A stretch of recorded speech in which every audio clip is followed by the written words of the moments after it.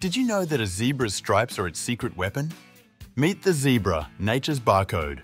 They're instantly recognizable, but did you know no two zebra patterns are alike? Their unique stripes aren't just for show.